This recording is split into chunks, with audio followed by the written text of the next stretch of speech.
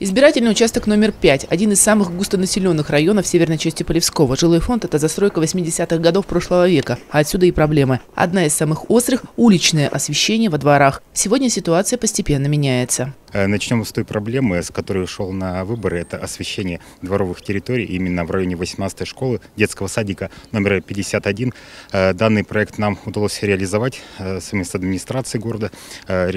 Организовано наружное освещение во дворах многоквартирных домов, начиная с 32 и заканчивая 38 домом. Сейчас во дворах установлены новые опоры и светильники. Проект требует продолжения и расширения границ, считают депутаты Думы Полевского. На сегодняшний день в части дворов этого района вечернее и ночное время все еще темно. А это значит, народным избранникам есть над чем работать. Хочется на все потратить, реализовать как можно больше проектов, но денег не хватает. Мы очень ограничены в бюджетных средствах, но при этом, э, я думаю, граждане, жители города могут заметить, что позитивные изменения есть.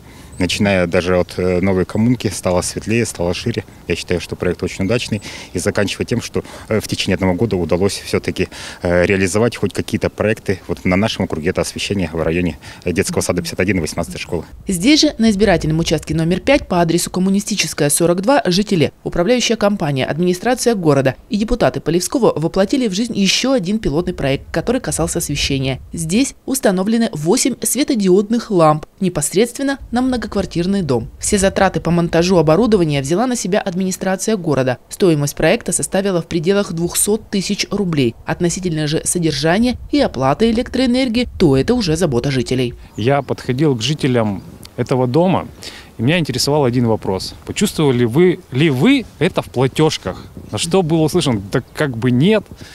И я даже вот призываю э, людей, жителей домов к тому, чтобы как можно больше реализовывалось этих проектов.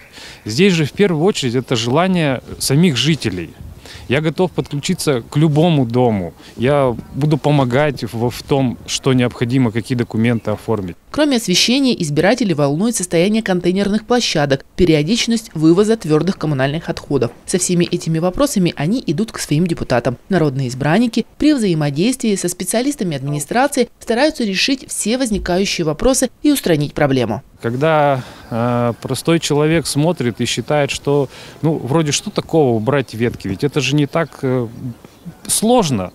Но на самом деле, как вот показала моя практика, у меня на это ушел год моего статуса депутата, чтобы все-таки совместно с администрацией и совместно с управляющей компанией, совместно э, ТБО «Экосервис» убрать все-таки эти ветки. И вот только совместными усилиями это получилось. Депутаты Шмелев и Серебренников – это те люди, которые не просто работают на заседаниях комитетов. Для них норма – это выход на участок, в народ. В летнее время они завсегдаты во дворах своего района. Они не ждут, когда полевчане придут к ним на прием. Они сами интересуются чаяниями избирателей. Мы успели пообщаться и с, дети, с ребятишками, с детьми, и с э, их родителями, с бабушками, дедушками. Э, услышали, что необходимо решать здесь и сейчас. Но, в принципе, обо всем мы знаем. Ну, осталось реализовать. Сегодня в топе тем, которые стоят на повестке дня у депутатов пятого избирательного участка, это продолжение работ по созданию безопасного пути следования школьников до образовательных учреждений, освещение дворов и ремонт тротуаров. Еще одна хорошая новость для полевчан – это решение администрации города в 2024 году заказать проектно-сметную документацию на строительство дороги по улице Совхозной от торгового центра в микрорайоне Зеленый Бор до пересечения с улицей Павлика Морозова. А значит, в перспективе вместо лесного проезда будет асфальтированная дорожное полотно. Это был один из наказов избирателей, и он будет выполнен. Ксения Балденкова, Алексей Карипанов, новости 11 канала.